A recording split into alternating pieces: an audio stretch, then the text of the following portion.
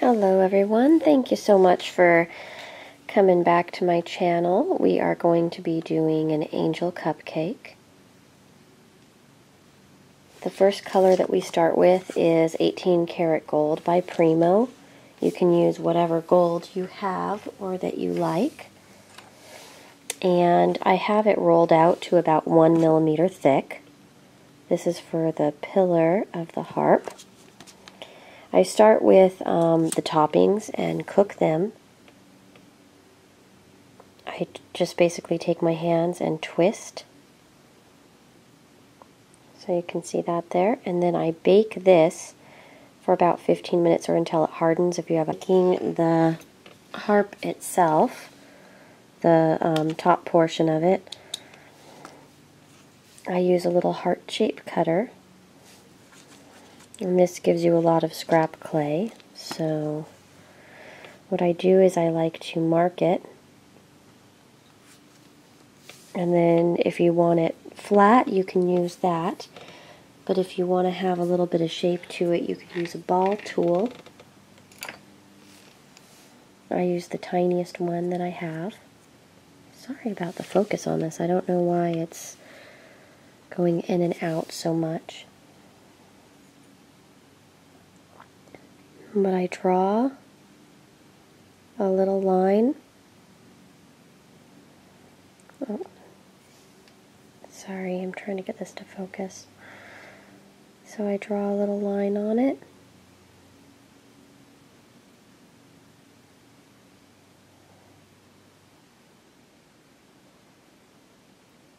You can see dark brown and black.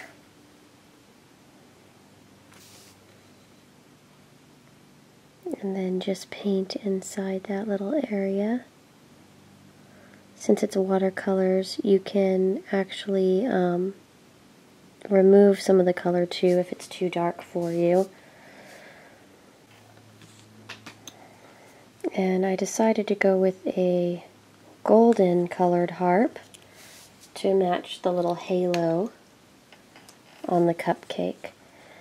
So I take this shape which looks like a harp. Um, let me see if I can, if this will help with the focus. Okay, so I just bend the bottom portion down a little bit. And then you can take one of the spirals that you have baked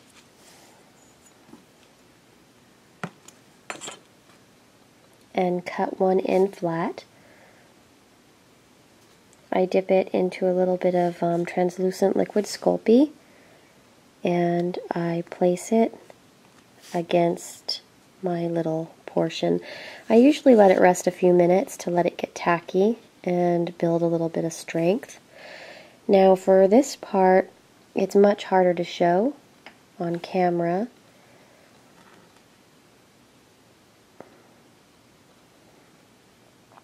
And you're going to want to do this right-handed. But um, I'm left-handed, so I'm showing you with my left hand. So basically you're going to stick the strings in like that. I do it on the table, so that way um, I have more control. I find it a little bit more fiddly to do it in the hand here, but I'm doing it like this at the moment just so you can see. So I usually just try to space them as evenly as possible. And this is 28 gauge golden colored wire. I'm going to go ahead and um, place the last few. And after I place the last few, I will um, be back. So here's one in the pan. Um, to get it on the pan, I just gently scooped it up on the edge of my blade and gently laid it down in the pan. I'm going to cook these as they are. So,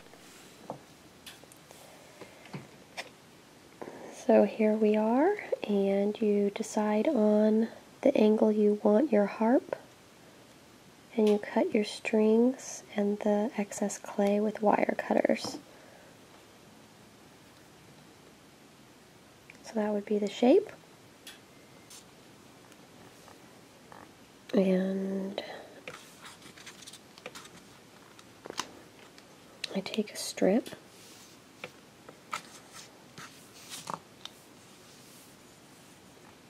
and I angle it from here.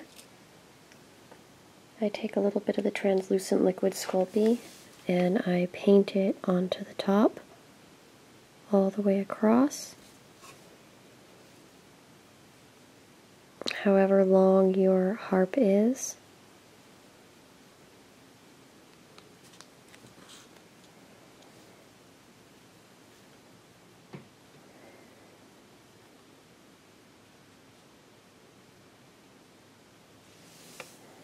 and then I place the harp on it. And I try to get the strings to be as even as possible.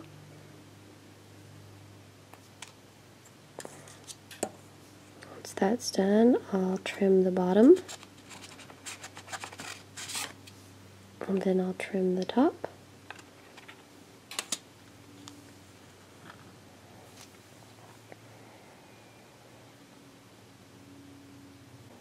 There we go. There's the harp. We cook it one more time. For the halo, we roll a very thin snake of the same gold.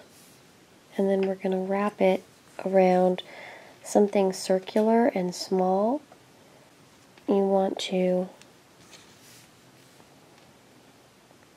roll a thin snake and wrap it around a round item.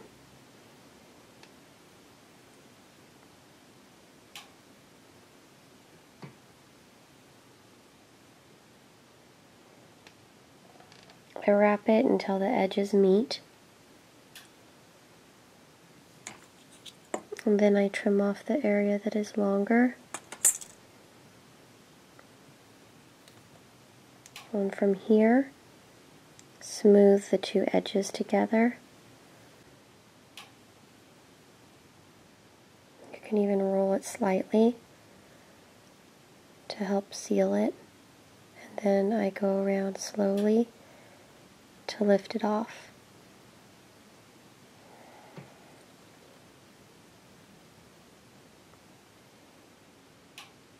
And there we go. A nice little halo that we get to cook. For the angel wings, I'm using just plain white. And I actually bought, this is from Mod Podge, and it is the wedding um, molds. And the two little doves have some cute little wings. And they are opposite one another, which are perfect for the angel wings. So I use the mold. So after a few minutes, you can pop it out. And you can see how the wing is shaped. So if you want it plain, you just leave it as is and then you cook it. After cooking it, I slice the wing off the body of the bird. If you want it glittered, put some translucent liquid Sculpey on a fingertip and brush it on to the wing. And you drop it in some translucent glitter. This is just clear without shine. And so that is our little wing.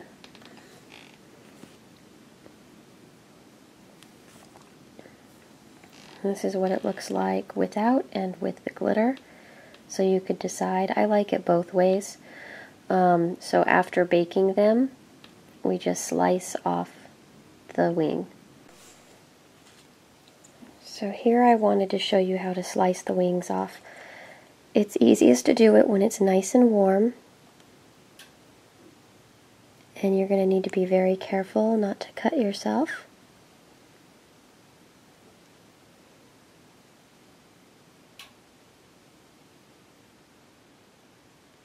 And there we go, almost done. there is our cute little angel wing. So I went ahead and mixed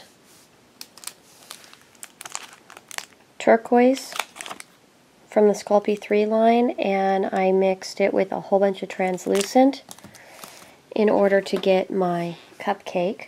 If it's not quite rich or deep enough, you could add a really deep purple and that kind of adds a little bit more blue to it, a really nice blue color.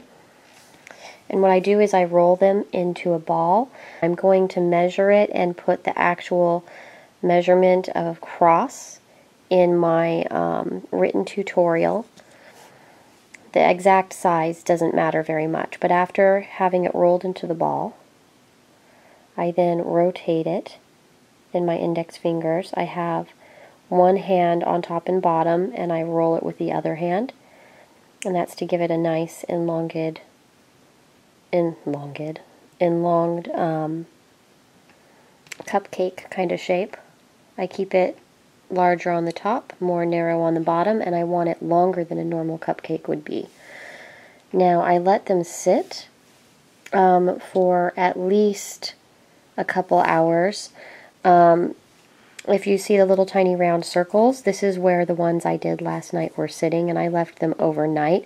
That stiffens them a bit. And for those of you who've seen me texture cakes, it's exactly the same if you don't want to take the time to watch me texture completely.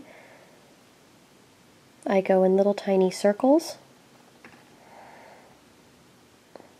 And you want to be very, very gentle when you're holding the cupcake so you don't smash it too much. They do get smashed down, even if you're gentle. So that's why I make them longer than a cupcake needs to be, is because they, they start shrinking.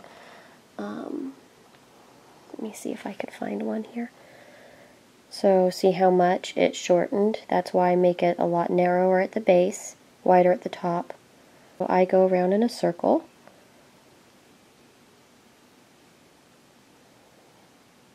And I just do it over and over and over. It teases up a lot of the clay. So the frosting color is just adding white to the same mixture that you have to lighten it up. I wanted it enough to contrast with white so the white will stand out, but make sure that it's light enough that it will also contrast with the cupcake. So I roll it out. I'm using my clay extruder for this and a Wilton tip number 16.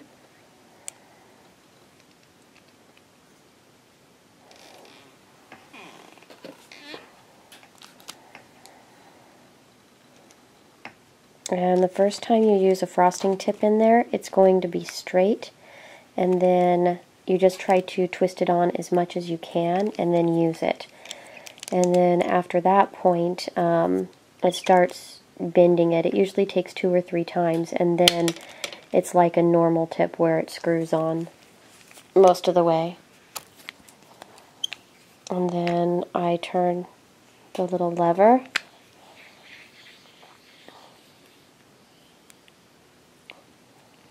and this is the frosting. So here we finish our little cupcakes. I grab a base, put a little bit of TLS on it, which is the translucent liquid Sculpey.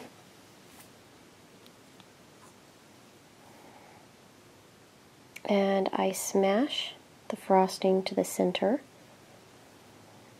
and I carefully twist under and attach as I go along and I try to be careful not to squish the clay on the outsides so you can keep that nice frosting swirl.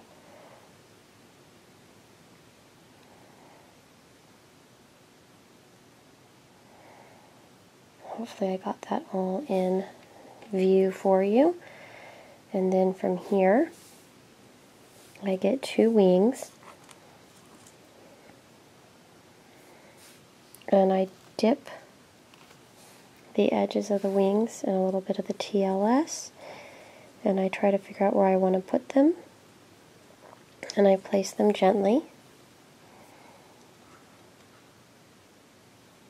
Then I try to carefully put the TLS on one side of the halo, meaning just the whole back side of the ring. So it will attach to the clay here. And there we go. We have our little angel halo and wings.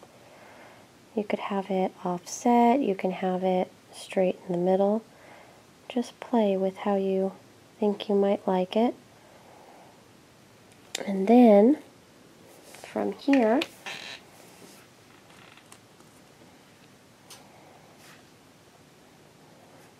you attach, oh, there's my oven, getting ready to bake these little lovely guys. I put the translucent liquid Sculpey on the back of our harp.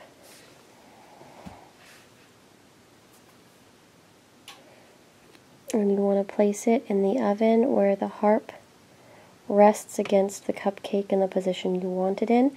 If it's not sticking for you at all, then you can add a tiny bit of um, the cupcake color to the base of the harp on the back to help it stick. And there we go. That's all there is to it. So now you bake it. And um, if you want a little glitter, um, something that I did is added a tiny bit of um, glaze to the top of the cupcake and sprinkled on a tiny bit of glitter. It's um, a blue iridescent glitter. So there we are. That's the end of the cupcake tutorial, and I hope that you guys enjoyed it and that you could get some good use out of it. Take care.